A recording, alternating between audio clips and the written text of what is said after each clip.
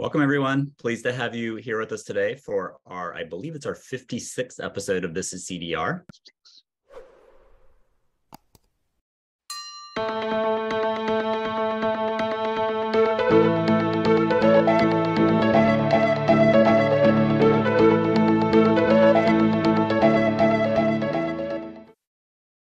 Welcome, everyone. Pleased to have you here with us today for our, I believe it's our 56th episode of This is CDR. This is CDR as an online event series presented by OpenAir to explore the range of carbon removal solutions currently being researched, developed, and deployed, and to contextualize them, and specifically just really to contextualize them for policy proposals OpenAir is working and seeking to advance at every level of government here in the United States, as well as in national and subnational jurisdictions globally. Um, my name is Toby Bryce. I work on uh, carbon removal policy advocacy and market development for OpenAir. Um, if you haven't already, I'm based in Brooklyn, New York. If you haven't already, please introduce yourself in the chat. Make sure you're directing your message to everyone and tell us where you're zooming in from and if you want to, your, your affiliation professionally. Um, OpenAir, uh, just some quick background on us. We're a distributed uh, volunteer network dedicated to the advancement of carbon removal solutions essential to solving the climate crisis. We're a global community. Um, we work together on shared what we call open source missions in the areas of research and development, um, messaging and communications, policy advocacy, and as I mentioned, activist market development. Uh, our co-founder, Chris Neidl, who's running the chat, just put a link in the chat to a join form, and you basically fill that out, and we will invite you onto our Discord server, which is a which is a platform like Slack that we use to communicate and organize our projects. So tons of fun projects to work on. You can start your own projects, and we'd love to have you be part of what we're doing here at OpenAir. Before we start today's program, which we're super excited about, um, we always like to provide a little bit of context in terms of uh, the definition of what we're talking about. Um, this here is a definition of carbon removal pulled directly from the carbon dioxide removal primer, which is a fantastic resource that uh, is available for free online. Um, about 60 uh, researchers, academics, practitioners contribute to putting it together, and it's a great background for carbon removal. Um, the definition is purposeful human activity to remove CO2 from the atmosphere and durably store it in geological, terrestrial, or ocean reservoirs or in long-lived products. Um, there are two really important things to call out when we talk about CDR. Number one, CDR is distinct from what's typically called carbon capture, quote unquote, or CCS, um, which typically refers to capturing CO2 from an emission source, whether it's a natural gas power plant or a cement plant. Um, this may or may not be a good and positive climate solution, depending on the specific context, socioeconomic, techno-economic, environmental justice, et cetera. But one thing it's absolutely not is carbon removal, which is again, a dedicated human activity to pull CO2 out from the atmosphere and durably store it. Number two, when we talk about carbon removal, it's really important to, to be very clear upfront that carbon removal is in no way, shape, or form any sort of substitute for reducing emissions. Um, we need to reduce our emissions, decarbonize our global economy as quickly and as completely as possible, full stop. That said, there's clear scientific consensus uh, expressed, I think, most clearly in the most recent IPCC AR6 Working Group 3 report that carbon removal will be required at gigaton scale by mid-century. That's billions of tons per year um, if we want to have any chance of limiting warming to 1.5 or even 2 degrees um, Celsius. Um, and the reason for that is that as I said, we need to reduce emissions as quickly as possible, but there are some emissions that are going to be impossible to um, to eliminate in the climate relevant time frame, either for just functional reasons like the agricultural sector. We're not going to be, be able to completely decarbonize the agricultural sector in the next 20 or 30 years. And additionally, for equity reasons, you know, developing nations are not going to be able to decarbonize as quickly as the developed world should be able to. So for those reasons, we are going to need carbon removal at gigaton scale by mid-century. Um, additionally, in the second half of the century, we have trillions of tons of anthropogenic CO2 in the atmosphere that we're going to need to remove to be able to have a safe and healthy climate for future generations. Um, so carbon removal is essential. It is part of our climate toolkit alongside reducing emissions, which we really have to focus on and, and, and make sure that we're not, um, not, not slacking on in any way. And additionally, um, adapting to our already changed climate. So carbon removal, emissions reduction and adaptation are, are the three key legs of climate action. Um, I'm going to um, pass it over to my colleague Megha Raghavan now, who's going to talk a little bit about Run of Show, and she's also going to introduce today's uh, speakers. Hey everyone, I'm Megha. I am an OpenAir member, uh, normally based in London, although I'm currently in California um, and working on policy advocacy as well. Um, so as usual, we're going to have a short, short presentation to start off with, followed by a few prepared questions and then moderated audience Q&A. So if you have any questions along the way, please type them into the Zoom Q&A box. Um, it's separate from the chat box, so make sure you find the right one to help us organize the questions. Um, the event's being recorded, so we'll send the video link out to everyone who registered, and we will also post it to OpenAir's website and to our YouTube channel. Um, this week, we're very pleased to welcome Paebbl co-founders Andreas Saari and Pol Knops, who will tell us about their new company's innovative method that employs mineralization to combine CO2 with abundant minerals to create carbon negative industrial raw materials. Andreas is the co-founder and co-CEO of Paebbl, and formerly Andreas co-founded the 280 company, which developed conversion processes for CO2 and for methane um, into carbon nanomaterials. Prior to that, he was the CEO of Slush, which you can find at www.slush.org, and the co-founder and CEO of Wave Ventures, which is at www.wave.ventures if you're interested in that. Um, Andreas studied industrial engineering and management at Aalto University in Finland. Pol is the co-founder and CTO of Paebbl and has been working on mineralization for about 15 years, first as an academic interest. Pol slowly realized that besides the CO2 sequestration, there is value to be uh, generated from the beneficial use of the end products. And so in order to create an influential impact, this needs to be scaled up to an industrial scale, which requires founding a company, a bigger team, more funding, and more business cases beyond just the chemistry of the CO2 sequestration. Um, and Pol has an MSc degree in physics from the University of Twente. So uh, over to you when you guys are ready to present. Good. Thanks, Megha. Thanks, um, Toby and Chris and everyone else. Uh, great to be here. Let me just get the slides up and ready to go. So here we go. Uh, Paebbl um, is a fairly young company. We consider ourselves a restored carbon company, which uh, is, is a bit of a word monster, but we essentially take captured carbon dioxide, whether it comes from direct air captured um, sources or industrial emission sources. We take that CO2 and we permanently mineralize it, but we don't put it underground. We turn it into a usable powder form that is essentially an existing commodity mineral product that has demand on the order of hundreds of millions of tons or billions of tons every single year in some of the largest industries on the planet. So essentially, we're serving kind of as a bridge between what to do with the CO2 once you've captured the CO2 and how to decarbonize and make CO2 storing rather than CO2 emitting some of the largest, you know, largest volume materials and commodities that we have uh, on this particular planet. And let's dive a little more into what mineralization really is, just to bring everyone onto the same page. And this is over to you, Pol. Thank you, uh, Andreas. Let me talk briefly about mineralization. I'm sure most people heard about mineralization. Mineralization can be done at ambient way. That is uh, putting alkaline rocks and then wait. And then uh, typically you need to wait, let's say 30, 200 years. And then slowly sequester CO2.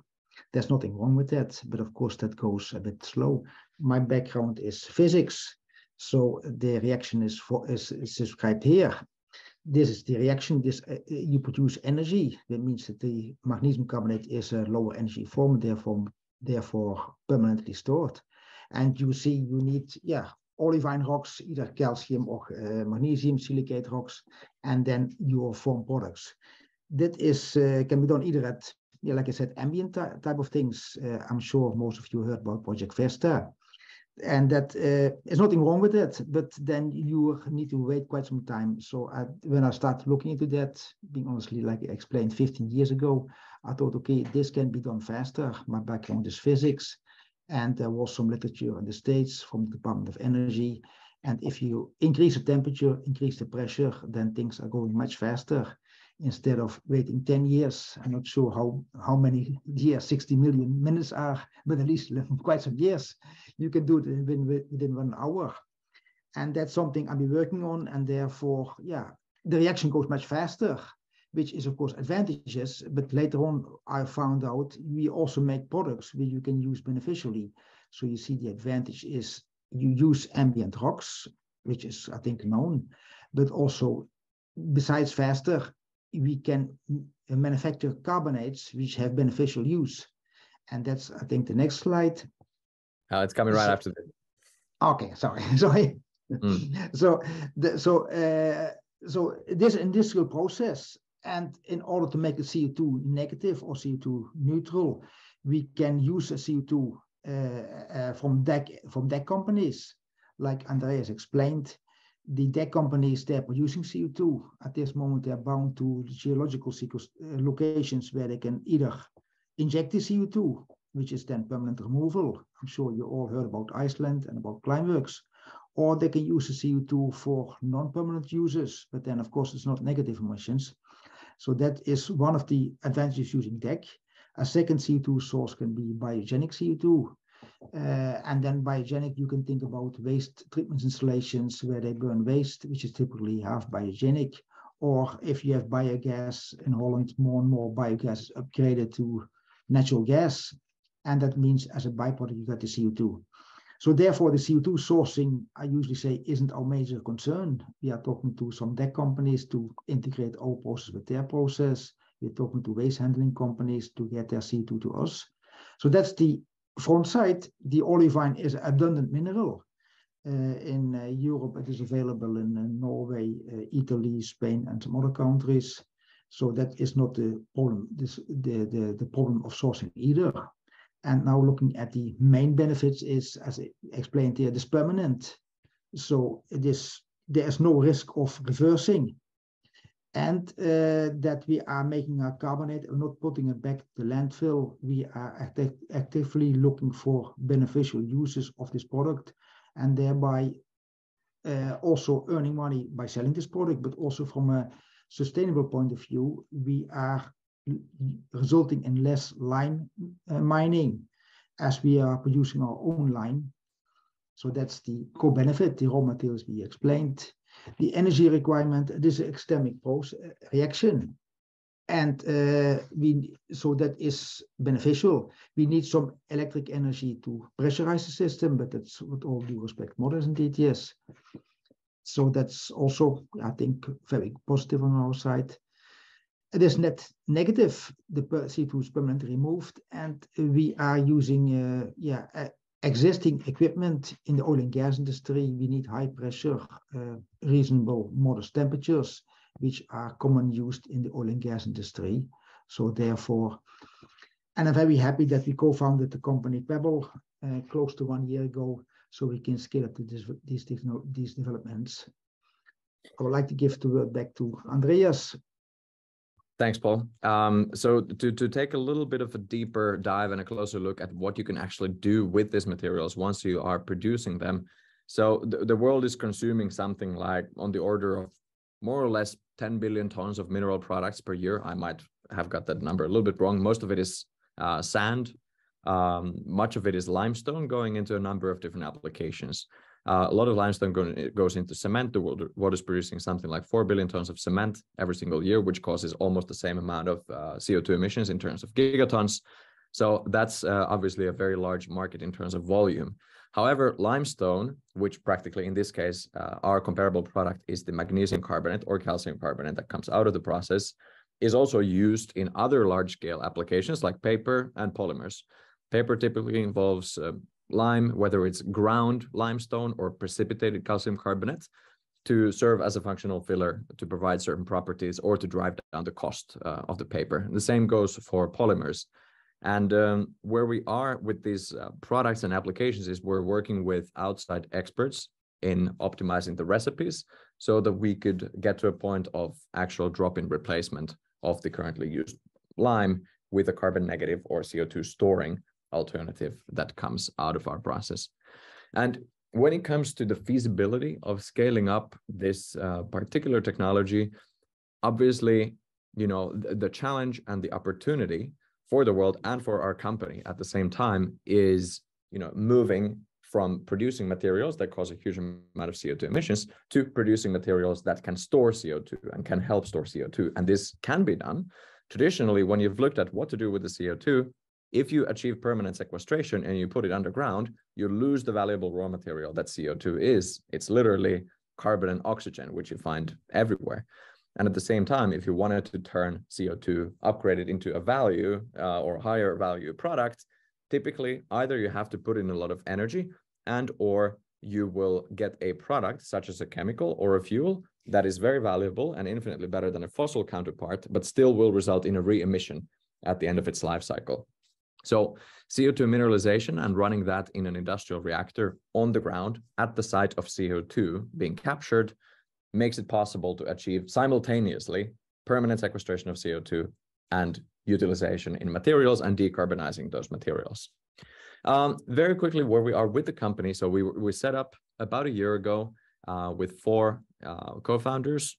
The other two, in addition to Pol and myself, are quite experienced. Marta Sjögren, my co-founder and co-CEO, spent the last 12 years in venture capital, most formerly as a partner at Northzone, where she left uh, to fully focus on climate. And our founding chair, Jane Walerud, is a one of the most successful serial entrepreneurs and investors in, in Northern Europe. Uh, she serves as very much a full-time chair in our founding team. The team is roughly eight people right now. We closed a first funding round of about 8 million euros in February this year from leading climate tech investors. There's one called Pale Blue Dot out of Sweden, another French one called 2050, and the Grantham Foundation out of the United States. What we're doing with that money, quite simply, is taking the first steps in going down the cost curve to be able to scale up this technology. And in our case, that means that first we move from batch operation, which has been proven on multiple different scales, to a continuous flow operation. And for that, we're currently engineering and next year building the first pilot plant, uh, likely in the in the Netherlands. At the same time, we're producing enough of the material with the or existing batch equipment to do product development and to prepare the market for the adoption of this material. And the third major stream is further R&D into how to accelerate the kinetics in our process and make it even more uh, efficient. That's uh, it for a quick overview. We're trying to stick to the stick to the time limit. Happy to dive deeper into any of the particular areas, but hopefully this can serve as a starting point for shedding more light on onto this particular solution. Fantastic. Thank you, Andreas and Pol. This is excellent um, starting point for discussion. Um, we have a few prepared questions from OpenAir that we've crowdsourced from our community. Um, and uh, audience, please, um, uh, I don't know if we have too many yet, but please put your questions in the Zoom Q&A box. Um, I think, you know, happy to get into more detail um, on, on some of these questions. Just, uh, we always like to start uh, the prepared Q&A just with a little bit of a maybe a little bit of each of your personal histories uh, in terms of how you came to climate, start first became aware of the climate issue, how you got to carbon removal, and then specifically with respect to Paebbl, how the founders met and came together and formed the company. Um, would love to hear that from um, from each of you guys. Pol, you should go first. Shall I go first? Shall I fill the yes. half an hour? no, the, my background is physics, and I happen to know Olaf Schuiling since uh, 25 or not even longer, 40 years my first experience with Olaf Schuiling was when we had our sewage sewage treatment plant, and he came over to our facility with a bug of uh, a big shit. That was my first meeting of Olaf Schuiling. And Olaf Schuiling is well known in the enhanced weathering community, promoting olivine for beaches, for civil applications for a very long time. And uh, then about, uh, I always stayed in contact with him, and about 15 years ago, I looked more into depth into that. And then I realized there are two ways on looking at the olivine, either at the ambient guys, and that means that you, there's nothing wrong with that, putting in civil applications or Project Vesta, these kind of things, or looking at more from a physics, chemistry point of view and increasing the reaction rate. So that's when I want, uh, so that's when I thought, okay, let's look for the second one. Uh, I did first some research at the University of Leuven, made quite some publications. Some people did their masters and some PhDs about it. Then later on with Aachen. And then I always had a problem that I realized my next phase, you're talking about high pressure equipment, which is very capital intensive. Uh, of course, 10 years ago, climate change was very low on the agenda. So I had for a very long time struggling to find the right people to find the right funding to bring this to the next level, realizing that it's very capital intensive equipment. So then about slightly more than one year ago, I was approached by uh, Jane, Marta and Andreas as they were looking at from, from the other side. So please tell your side of the company why you came in contact with me. And that's how yes. we met indeed, yes. But uh, yeah. Sure so you know it, it's uh it's an interesting interesting story when it comes to the founding of the company. And there's also, I would say, three generations represented uh, in the founding team of the company, which uh, brings its own opportunities and challenges at the same time. But I'm missing uh, one generation, I guess. Then I thought yeah, almost. yeah, there's an in between one. So for for each of us, other than Pol, who already knew about this solution for a very long time, way before we ever had had um, you know the wisdom to pay attention to something like this, um, we each with Jane, Marta, and myself took our independent journeys into identifying mineralization as the solution that we were just shocked by how little attention it was receiving, given the potential that was evident in some of the scientific literature that was available on the topic. So we each spent first separately and then together several months reading to hundreds and hundreds of papers, both looking at mineralization and all kinds of other solutions when it comes to decarbonization, and in particular, carbon removal and permanent sequestration. And we wanted to, you know, the solution that we would start to work on to pass through the filter of, you know, the science not being a question mark anymore. So you can take on technical risk, but you shouldn't take on scientific risk. We wanted to be part of kind of trying to scale up something that has a chance of reaching a very significant carbon impact within 10, 15 years. Uh, mineralization was definitely there. At the same time, it would have to be based on cheap and abundant raw materials, which mineralization is. It cannot be very energy intensive because that can, there's a tricky question with the opportunity cost of deploying energy into decarbonization or carbon capture or carbon removal versus all the other use cases that it has for decarbonizing the rest of the industry. Um, and at the same time, optimally, of course, the whole process would turn the CO2 into something of value and demand on a very large scale that would allow you to build a business engine around the, the core process.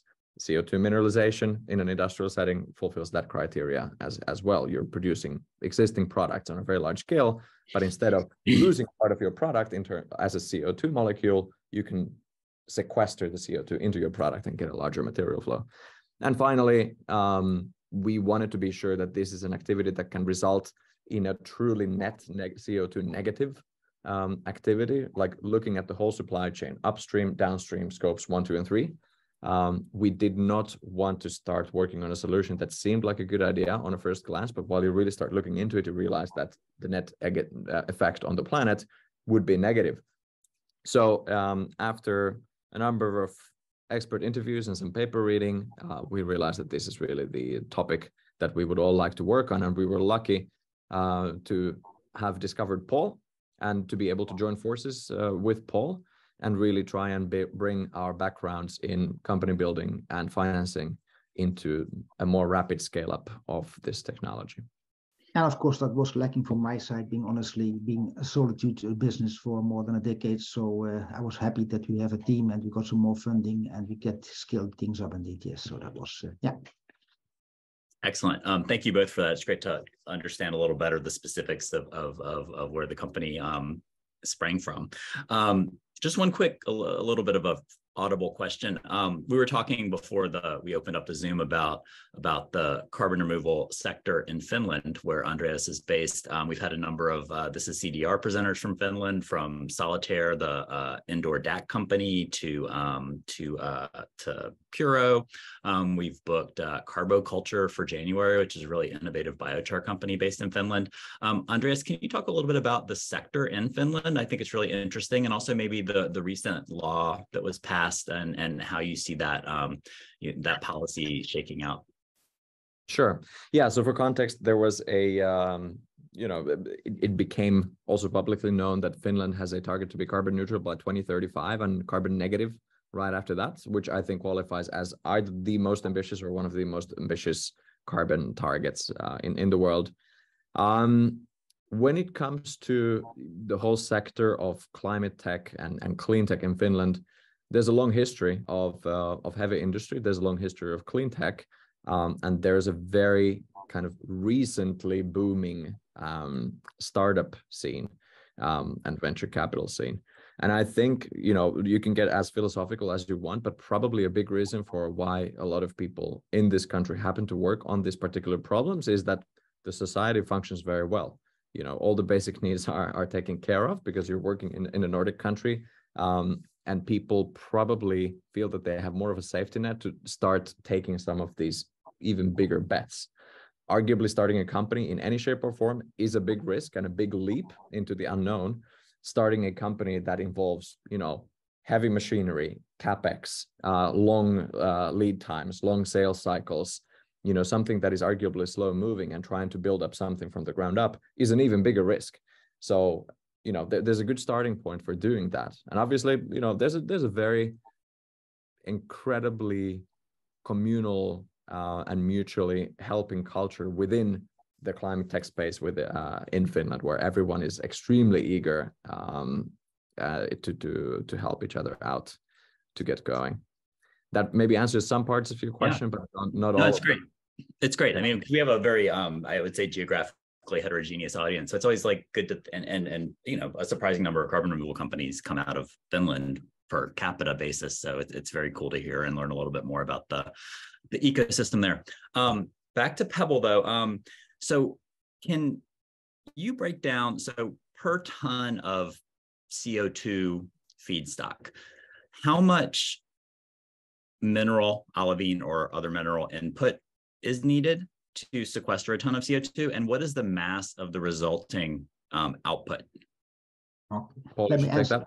Yeah. yeah. that's an easy one. that's an easy one indeed. Yes. Okay. Uh, let's say for every ton of CO2, we need two tons of olivine, and we make three tons of end product. Okay. So so that's that's a ratio. But then people are looking at the megaton and gigaton scale. I always say we need to revert the question because we're making a product for a client, first for paper mill or concrete factory. So we have to ask how much his demand is for this material and then calculate back how much CO2 we need.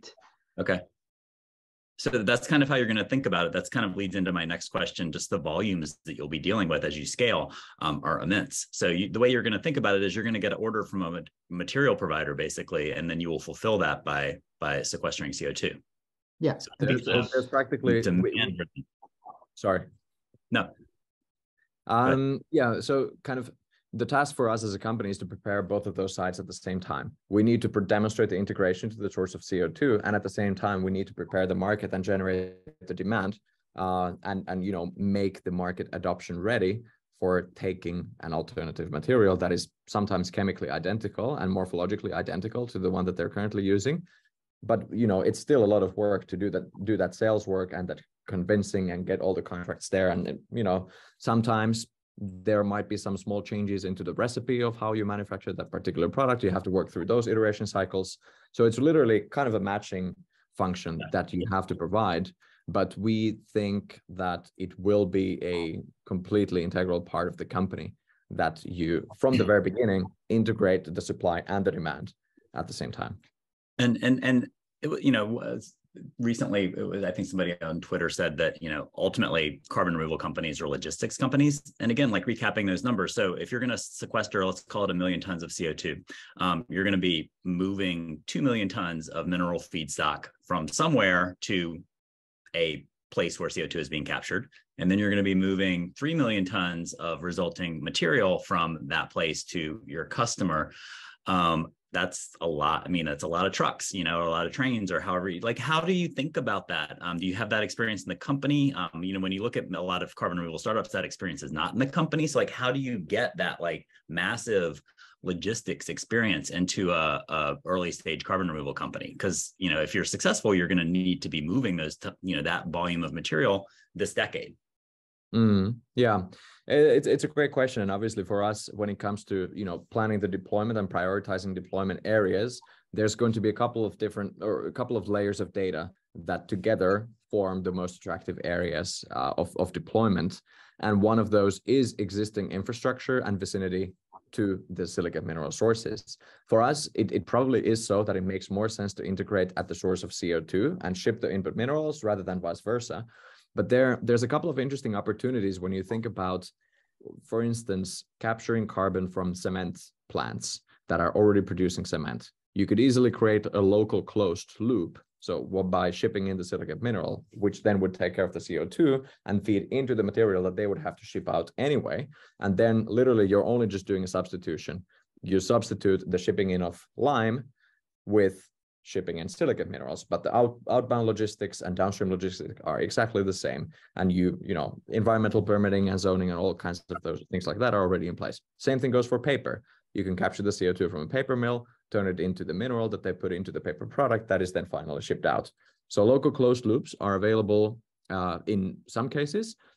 In others, you might even be able to build additional DAC, uh, direct air capture capacity on those same sites to further push down the CO2 footprint with an honest calculation uh, or from that perspective um, to, to get further towards carbon neutrality or a carbon like truly carbon fully net negative um, end product.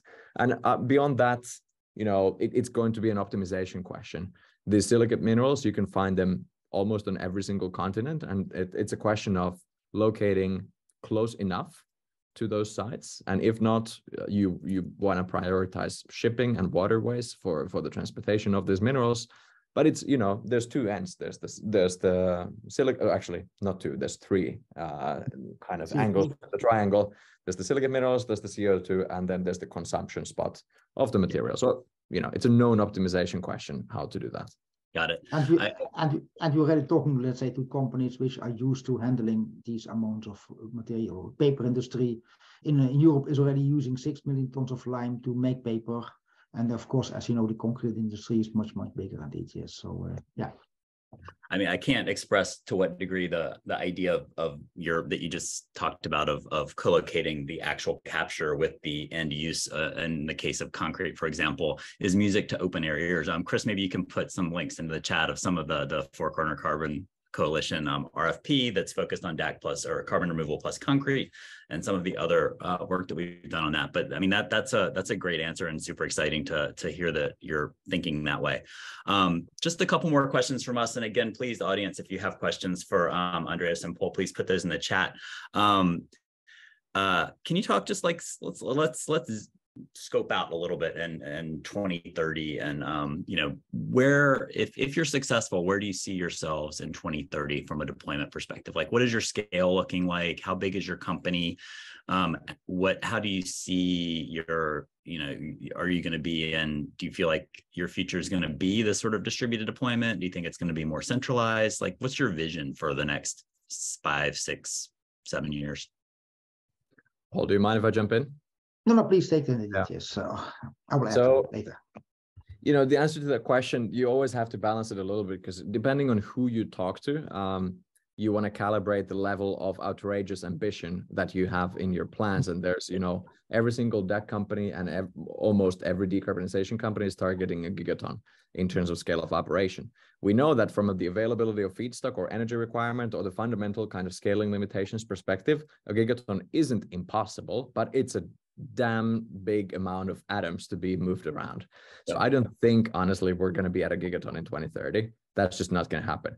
Uh, what we're doing right now is after we have built the first continuously operating pilot plant, which should be hopefully ready by the end of next year and fully operational. After that, we're hoping to be on a scaling trajectory of 10xing our capacity every 18 to 24 months, roughly. If we manage to do that, that is already, you know, in the top decile probably of industrial scale up. Um, and then at some point, once you hit 10 million tons of 100 million tons uh, of global operation per year, you start to hit certain limitations to how fast you can build up new capacity, and it will probably taper off a little bit. Yeah. But to to kind of maybe be a little bit more concrete to your question about where to be in 2030, we would certainly hope to have the first couple of full industrial scale plants operational uh, and up and running I won't put an exact megaton uh, number target over here, but you know we're all working um, under time pressure because of where we are with the planet. So we're going to be scaling up as fast as reasonably possible while still building reasonable, safe, and well functioning technology. And, and one, one, one, one last other quick commercial question. Um, you know, we, we've done a lot of as uh, activist market development, trying to put these things together. How have you found the receptivity of industry to this kind of idea? Like the idea, the paper industry, the concrete industry, these are old, ancient, entrenched industries um, that maybe aren't necessarily thinking first about climate.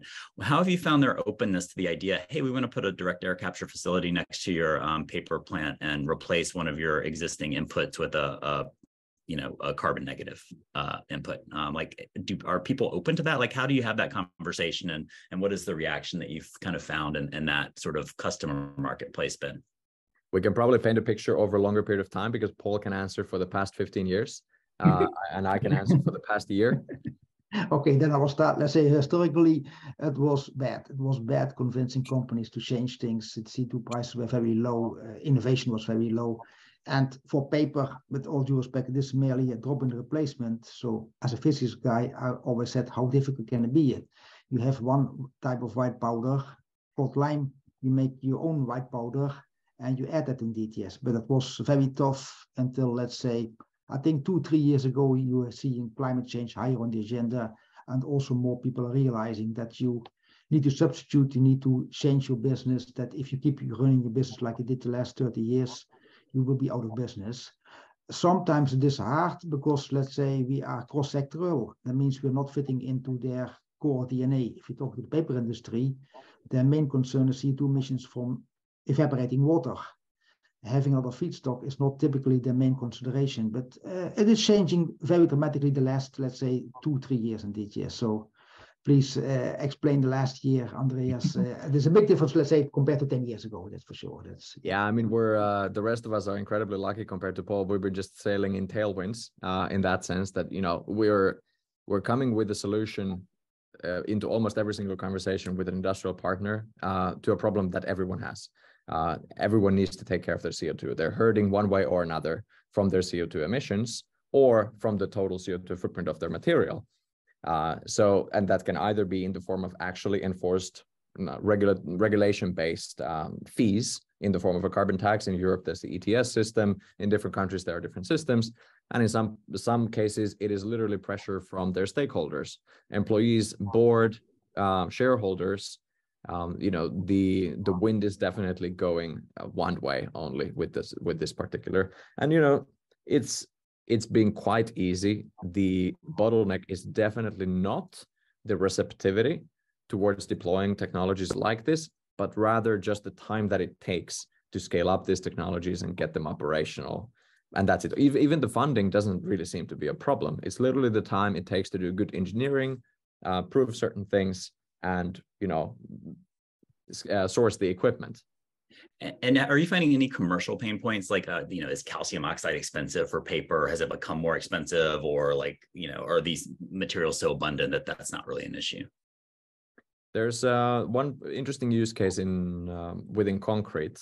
Obviously, within concrete or within cement, uh, you know everyone has been scrambling scrambling for alternatives to Portland cement because of its carbon footprint. And there are natural pozzolans, there are steel slags, there are fly ashes, there are all kinds of things coming into the market. Many of those, you know, materials that are alternative cementitious or supplementary cementitious materials that they're called are based on, you know, industrial processes that are going to be phased out, like fly ashes and steel slags uh, which has made the cement companies increasingly, though slowly, realize that they are in trouble and they have to find substitutes if they're you know not going to die of, of co2 pricing. And there that has resulted in a huge increase in price for other alternative cementitious materials like microsilica for instance which is fairly close to to the product that we can be making where the prices you know it, it's only going one way. Got it um, that's great. Um, one last question from us, and then um, we would love to uh, start tackling some of these audience questions, which are looking really good. So please continue to share those. Um, um, you mentioned, you know, as part of your um, talking about your 2030 vision, like, you know, just it takes time to build infrastructure. You mentioned SAFE, which I was really glad to hear.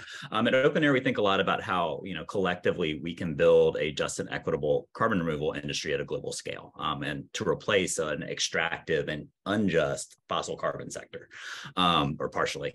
Um, can you talk a little bit about how you think about equity and environmental justice and how you're factoring these considerations into deployment? Like how like how do you like how's the company you know? Because on the one hand, you can think like, well, we're not hurting anyone, we're not doing anything, but you're running a bunch of trucks. Like there are a lot of things happening with your processes that do offer some like you know potential negative externality to surrounding communities et cetera. So how do you think about that and how does that factor into the way you think about you're going to deploy your your your company yeah.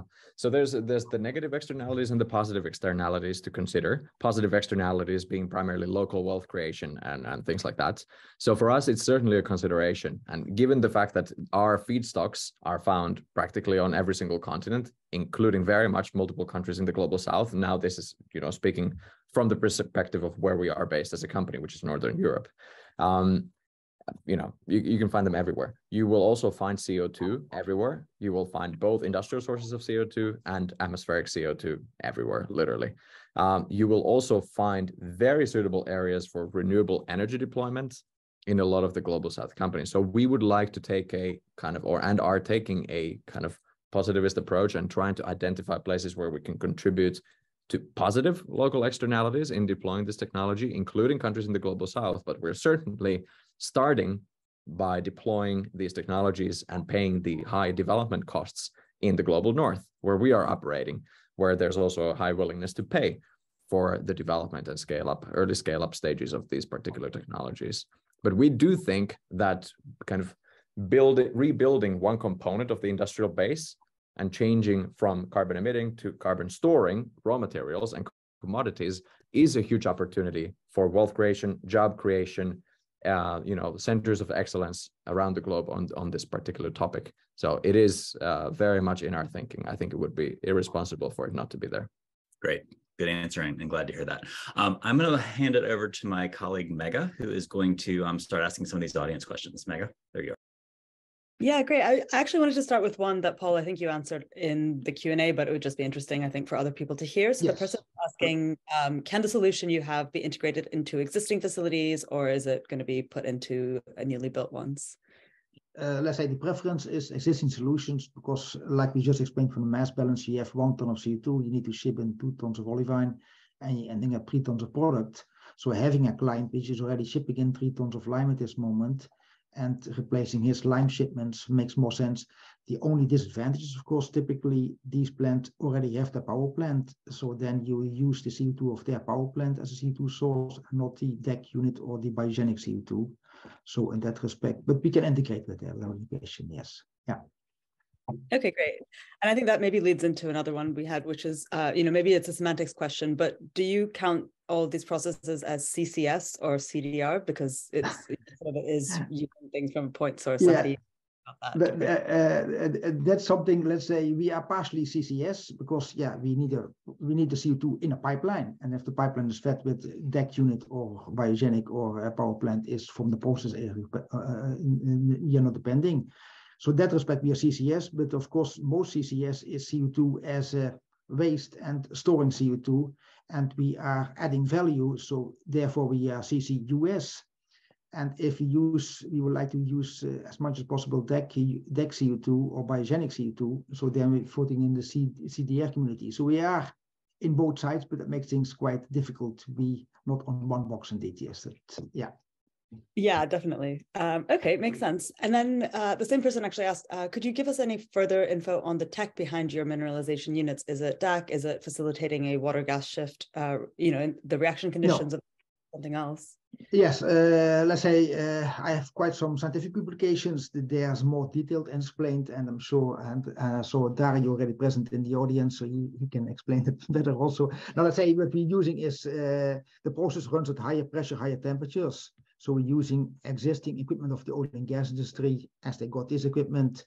And it is not water shift. It is, uh, we dissolve the CO2 into the water, pressurize this whole system, mix the minerals to that, add some additives, and there the reaction proceeds naturally, but then given the temperature and pressure much, much faster.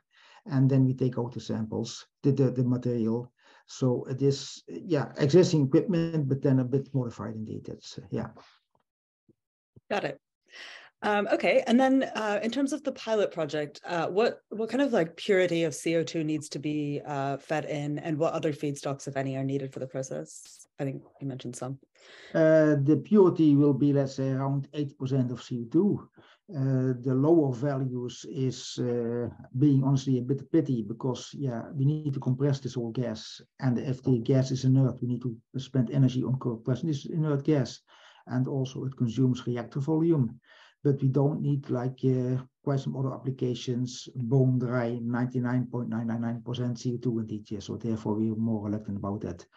Uh, the quantity is we will need something like 20 to 50 kilograms of CO2 per hour, which uh, I think uh, is on the upscaling of most DAC pilot plants at this moment. But of course, not Climeworks. Climeworks is much bigger than DTS. So that's, uh, yeah. Got it. Okay. Um, and then, yeah, just talking a little bit more about like the stages of commercialization. Um, you mentioned that you you tested a batch process and you're you developing a continuous process. So, how where are those in like the in the sort of laboratory versus pilot versus deployment phase? Uh, those two types of processes. They are in a pilot phase. So uh, we are building these pilot facilities. And as you can imagine, I just uh, said 20 to 50 kilograms of CO2 per hour if you even if you put 100 or 200 hour, uh, euros per hour, uh, sorry, per, per ton of CO2 to that, you can see it's not commercial at this moment in DTS. So really at scaling up technology, uh, pilot scale, not at the lab, because we also want like to give people hundreds of kilograms of material to test it within their concrete, within their paper. So we truly at pilot scale indeed. That's uh, yeah. Maybe Pol, it's good to to kind of complete the picture from the batch operation side, yes. so where people understand it, it's no longer at at a lab scale. It's no. not also not on a benchtop scale, but it has been proven in, a, in an even bigger scale. And Pol, uh, in an earlier collaboration with the University of Aachen, which I think Dario is representing uh, in, in the audience potentially, this kind of a mineralization process or version of it has been operated in a large 2000 liter batch uh, reactor. Uh, what we're yeah. going to have in house is one small five liter batch um, high pressure vessel and a larger one, uh, which is 500 liters. So we'll be definitely producing at much higher than lab scales, even in the batch reaction. But from an engineering and scalability perspective, if the real transition is just the change of operating principle from batch operation to a continuous flow operation where you just have a whole new set of problems to deal with. Okay, got it. Um, and then on, on like the commercialization side a little bit. So someone asked, uh, is there a market for just the mineralizing side of thing, even if you're not putting the products into things like concrete? Um, are you are, is Paebbl able to gain carbon credits, for example, or how does that side of things work? Well, the, the the world of carbon credits is a bit of a wild west right now, as everyone knows, and you know no one knows how it's really going to work. In a way, uh, we know that we will be able to you know claim some CDR revenue, but that will be if we are integrating with direct air capture or taking care of biogenic CO2. And in that case, a, a, significant chunk of that carbon sequestration revenue would have to go to the company doing the actual capturing part.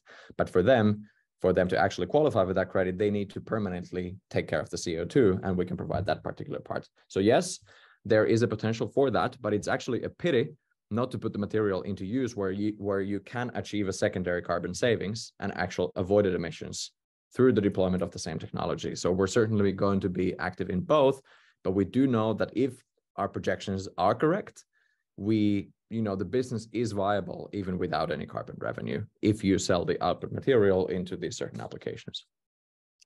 Got it. Yeah. Okay. Makes a lot of sense. And then on the funding side, um, you know, what kind of investors are in this space? Uh, this person asked, are you in touch with large investors like uh, Morgan Stanley, um, since they have a green energy venture, but like wh who are you seeing be interested in uh, in investing in this space? I'll so leave far, the complete deal, Andreas. I'll leave the complete Yeah, yeah. thanks. Um, so far, we've taken a conscious choice to only work with uh, investors that are fully aligned uh, in terms of climate and, and the mission that the company is on. Um, and that has led us to work with private investors, early stage venture capital funds, and early stage family offices that are, you know, really dedicating themselves to to commercializing and bringing these kinds of solutions into the world. Going forward, and when when we start raising larger rounds, hopefully we have reason to do so while we're scaling up the technology, we would be moving more towards you know larger, more typical VC, private equity, potentially different kinds of non-dilutive funding instruments like debt financing, project financing, uh, and then it would move closer to the banks and other kinds of financial institutions. But that's there. That's on the on the you know private funding side. Of course, the other side is uh, public subsidies, grants, all kinds of programs that you can qualify for while deploying these kinds of technologies. And we're uh, going into those processes right now. Got it. Okay, cool. Makes sense. Um, we talked a little bit about you know what's going to happen in the next few years 2030 um, i'd love to know where do you see kind of the biggest differences in the way things operate today versus what you expect in 2030 and that could be in the economics of it the technology the, the partners you work with um, what's kind of set as it is and what's likely to change a lot I think from a, let's say, technical innovation point of view, much more interest in uh, paper mills, in concrete manufacturers to use these novel products in DTS. That was in the past uh, a bit of hassle getting them involved in DTS. So that, that will make a sure a big influence. I think also in the uh, public, people want to buy more sustainable products. So therefore, let's say buying this kind of paper is sure helps. Uh, I think also the policy support that uh, will be more, there's more funding, let's say, for these high risk novel, devel novel developments, but also there is more buying power of people wanting to buy these materials. So in that respect, yeah, things are changing much faster. The uh, problems we are facing a bit is that we are cross-sectoral. If you're talking to the paper industry, they say, okay, we just buy lime. Why should we buy your material? And then some discussions about the CO2 credits, but I think that can be solved.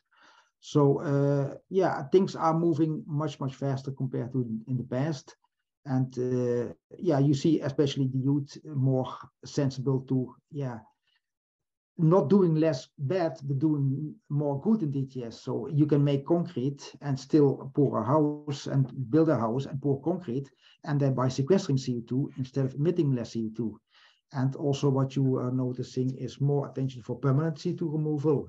This whole community started let's say with uh, planting lots of trees which should absolutely happen but I'm sure you heard about uh, quite some disaster with trees in DTS. But in addition to trees, we should have this more novel type of the technical bias type, type of thing.